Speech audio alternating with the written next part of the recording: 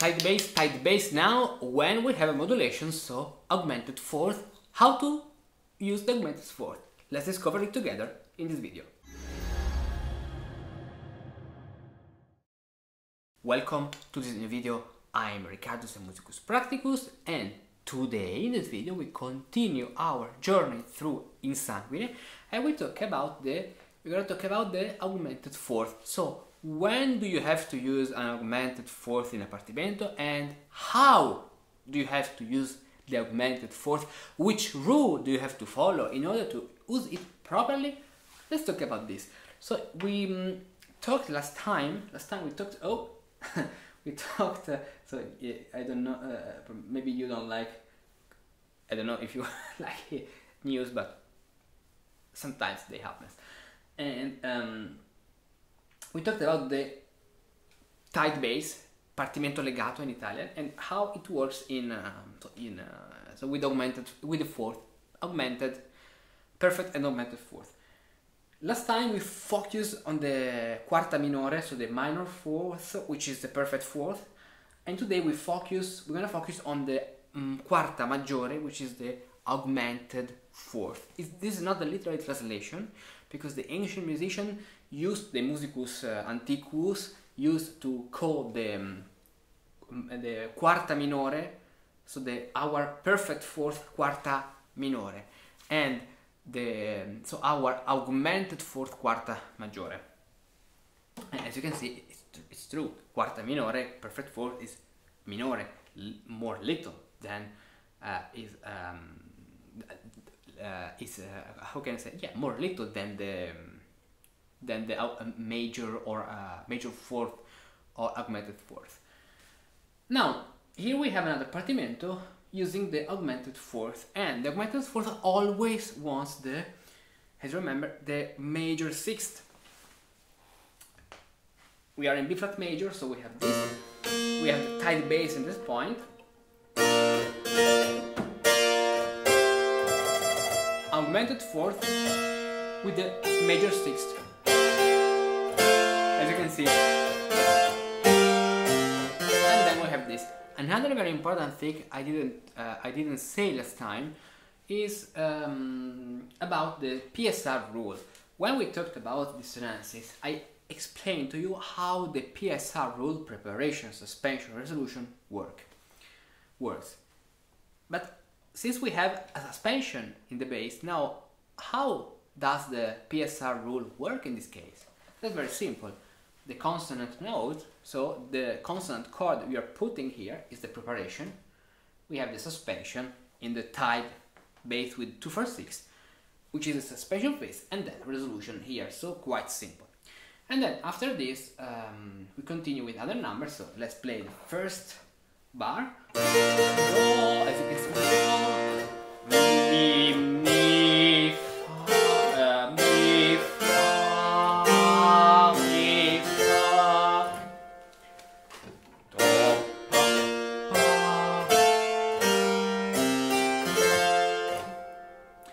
mi, of course another PSR rule in one of the top voices due to this seventh. So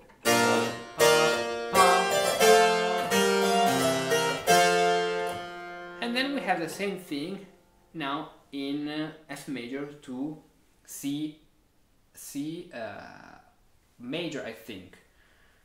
Or C minor actually. So yes C minor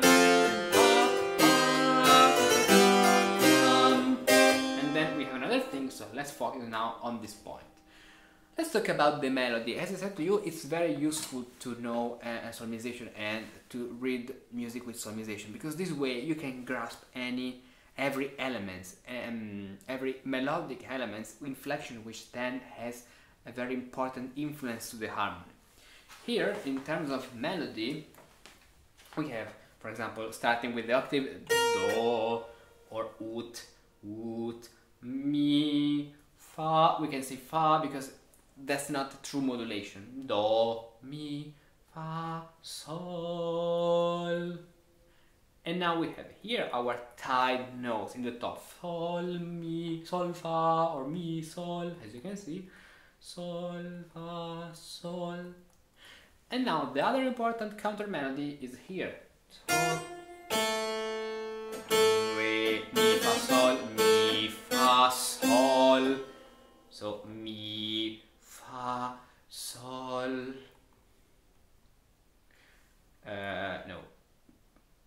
one bit at left. Mi, fa, sol, fa, sol. And the very interesting thing you can notice only if you know solmization is that in the first phrase we have do, mi, fa, sol, fa, sol based on the hexachord on the fourth first degree B flat do, re, mi, fa, sol, la and the second time you have the same melody in terms of syllables of solmization on the other hexachord the one starting on the fifth degree of a major key. So F F ut do re mi fa sol la. And so we we have you have do do do mi fa sol fa sol. And then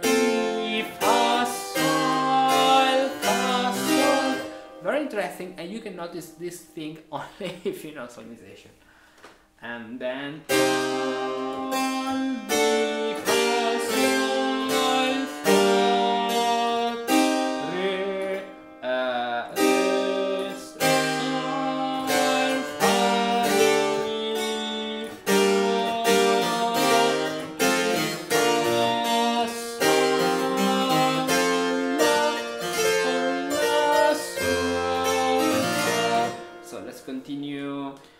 our participant, but we don't have other other tied basses exactly. The only one, the third one is here. So in this case, as you can see, we have something modulating to G minor, and we can understand this thanks to the four, uh, uh, thanks to the sharp on the fourth. So we need the major sixth,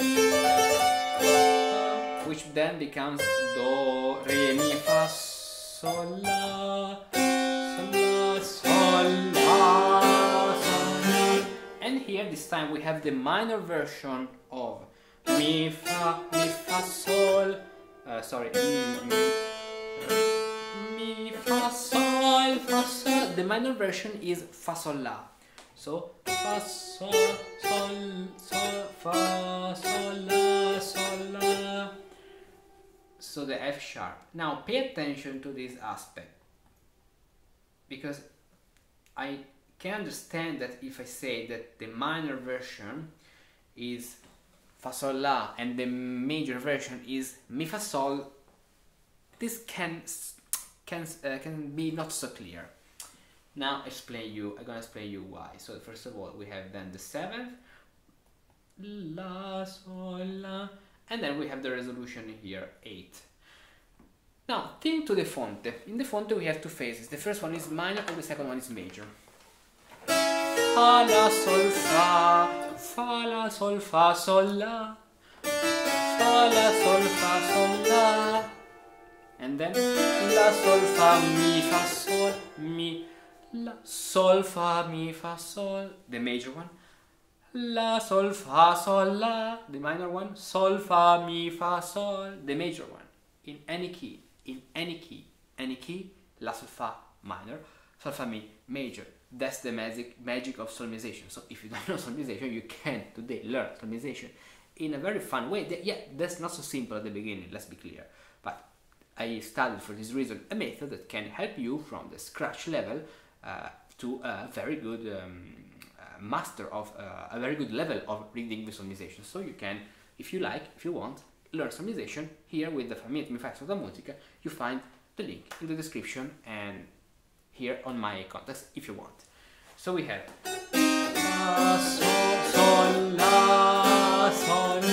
and then the main melodies here are do, do, mi, fa, sol, fa, sol,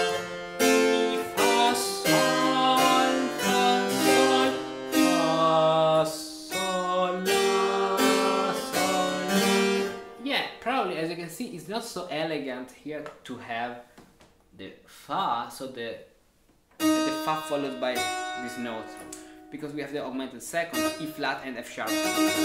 so we can spread this structural counter melody in, uh, into two voices, for example, arriving to this point in the tenor and then in the um, alto.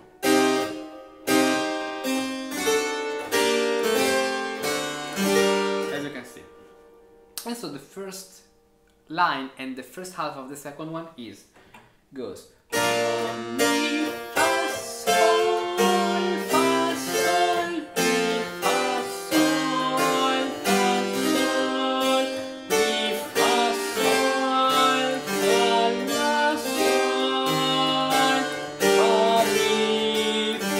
then just follow all the rules you know because as you can see we don't have any kind of tied bass anymore so yeah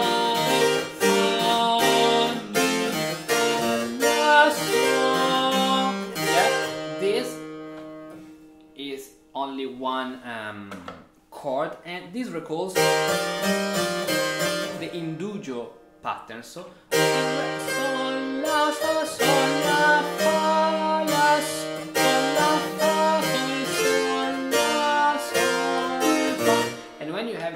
of indugio which recalls the indugio 5-6 go in uh, parallel 6 sol la fa sol la fa. And then you have to pay attention to don't play any uh, kind of mm, uh, parallel uh, fifths and other motions in the upper voices. So because if you play this this passing tone you have you can if you play basso continuo figure bass okay that, that's not a problem. In composition pay attention to that so be aware of what you're playing. This is or what you're writing i mean. So fa sol la fa la yes.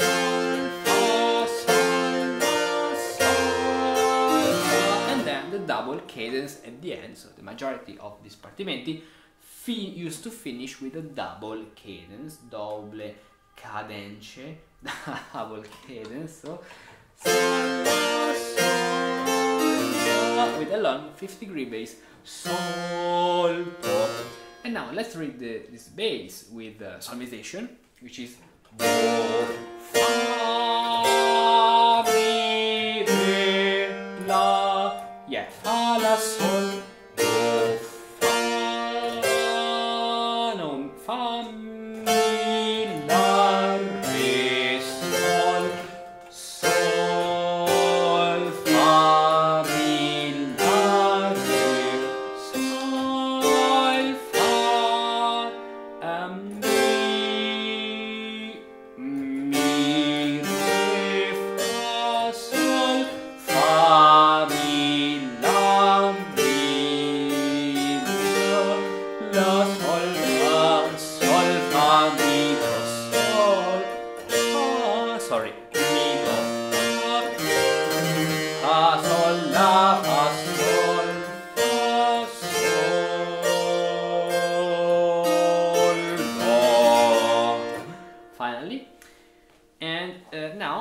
at the, at the end let's rely on this partimento adding figurations. For example we can add triplets this time. So something like this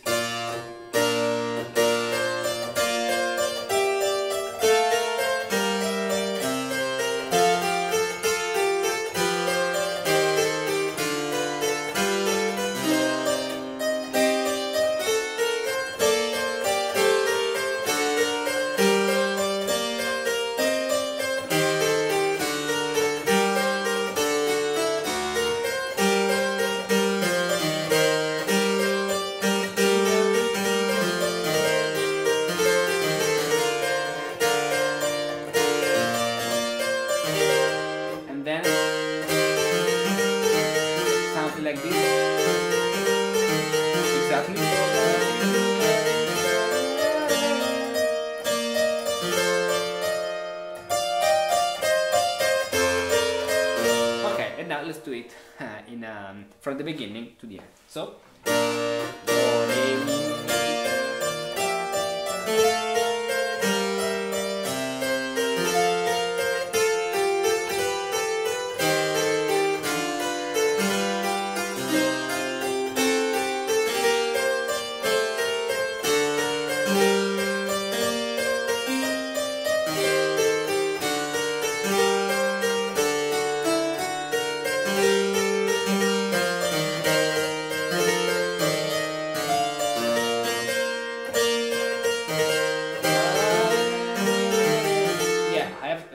let's analyze this point because I need. Okay.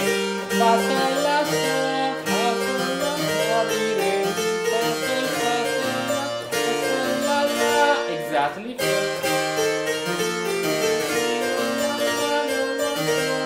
And then here I wanted to start with the third, so and so we get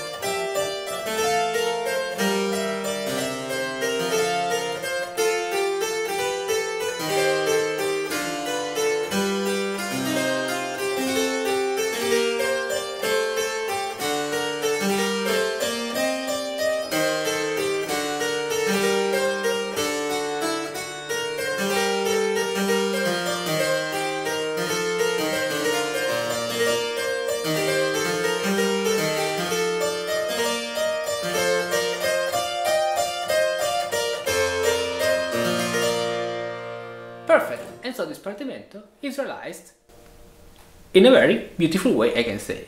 Ut fa sol re mi fa. Can you sing with your hand? Consider that this method has been used to teach music from the Middle Ages until the early 19th century. All the great musicians whose music captivates and moves us learned the basics of music starting right here with a simple hand that I have drawn on a glove, which encapsulate all the elements of music. The great scale, hexachords, clefs, notes and melodies. Everything in the palm of one hand. It is true that it's not so easy to learn this system at the beginning. It is all based on a series of musical relationships and ratios which are different from modern music theory. The historical sources are written in ancient Italian, making them accessible to only a few. Furthermore, the way the ancients write is not always so clear. However, if you have as passionately curious as I am, and you would love to learn how to sing like a true Renaissance or Baroque musicus practicus, take a look to Famé et me fa estota musica method. In English, so it will be very easy for you to understand everything from A to Z. 13 stages that are well organized and ordered. Start from stage 1 and gradually progress to stage 13, following the step by step order proposed in this journey. Examples, images, and practical exercises that visually teach you what to do, how to do it, and why to do it. Oh, and in the end, we will do a test together. Learn more here.